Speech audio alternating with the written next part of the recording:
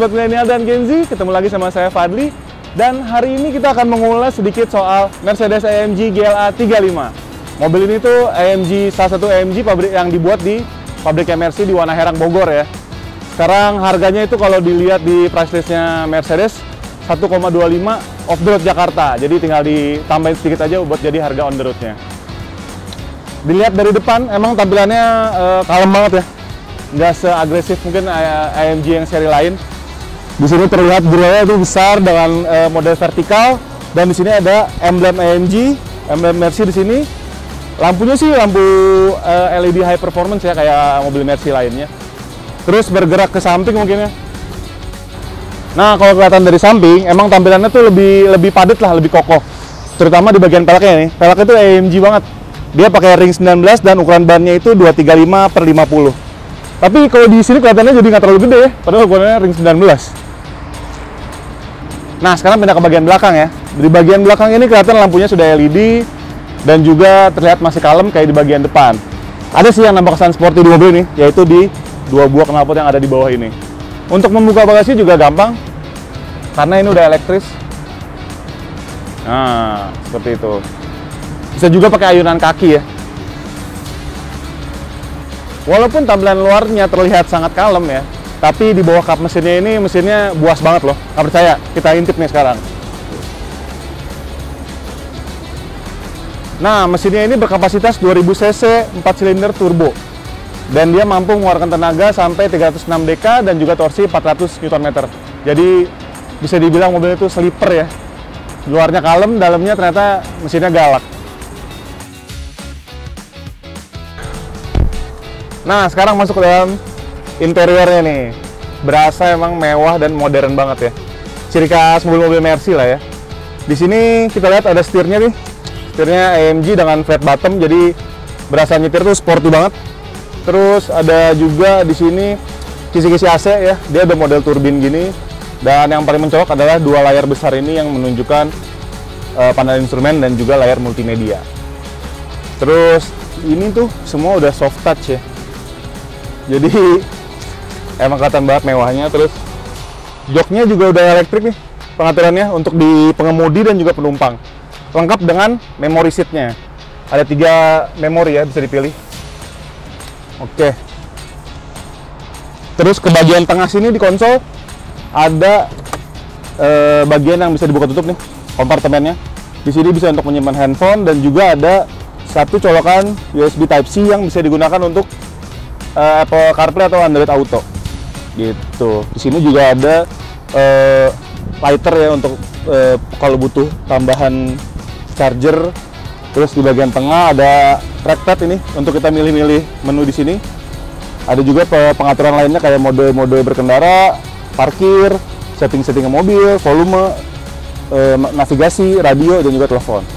Di sini ada pengaturan mode untuk ke manual untuk menggunakan pedal shift gitu. Ini traction control dan pengaturan suspensi di sini. Oh iya ada lagi di bagian tengah sini. Bisa dibuka. Nah ini kompartemennya lumayan dalam nih. Terus ada juga satu lubang port USB Type C. Enaknya tuh di sini mobilnya eh, colokannya udah Type C semua ya jadi kekinian banget dan pastinya lebih cepat untuk ngecas gitu. Pengaturan AC dan lain-lain masih ya dari sini dari tombol-tombol ini termasuk lampu hazard belum di, belum full digital ya jadinya. Dan e, layar ini bisa untuk melakukan berbagai macam pengaturan. Mulai dari ngatur jok terus ngecek performa mobil dan setting-settingan lainnya gitu. Terus ada juga kalau teman-teman lihat di sini ada sunroof ya. Ini lebar banget sampai belakang. Mungkin bisa masuk panoramic roof juga ya cuman dia kebagi dua gitu kepisah. Oh iya di sini ada juga nih aksen-aksen karbon ya nggak karbon asli sih cuman keren aja gitu kan berasa sportinya dan aksen merah juga banyak di jok sampai ke seat belt nih. Jadi emang feelnya tuh sporty banget tek mobil ini. Oh iya nggak lupa uh, sistem audionya. Dia pakai Burmeister ya. Jadi suaranya tuh udah pasti asik banget. Sekarang kita coba duduk di bangku belakangnya nih atau di baris kedua dan di depan sini posisi berkendara saya ya. Di sini juga masih kebagian tadi si panoramik jadi agak terang. Nah, ini jaraknya masih lumayan. Mungkin 5, 6 atau 7 ruas jari saya. Terus untuk headroom juga ya nggak terlalu banyak tapi masih cukup untuk tinggi saya yang 181 cm.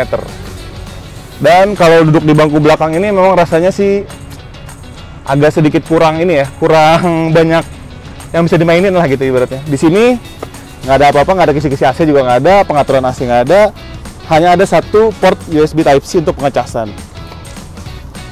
Uh, armrest juga nggak ada, jadi kita di belakang ya duduknya seperti ini aja, nggak bisa ngapa-ngapain lagi. Tapi pastikan kalau naik ini pengennya duduk di depan ya. Mungkin yang di belakang tuh anak-anak atau teman-teman dari pemilik mobil. Nah sekarang saya sudah ada di dalam AMG GLA 35 ini dan kita akan coba gimana sih rasanya nyetir naik mobil ini. Yuk.